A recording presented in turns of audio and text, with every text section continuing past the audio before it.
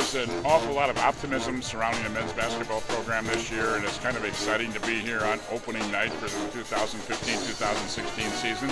Uh, they played so very, very well last year, losing in the NIT, and they expect to do better than that this year. We are one of the favorites for Conference USA, and we would hope that that ultimately will end up in March, so we're going to be participating in the NCAA tournament. Feels like it's a continuation of last season. I mean, not just because we played so late into the season, but the energy and the excitement. It's like we had a very brief intermission between the end of last season and the beginning of this season.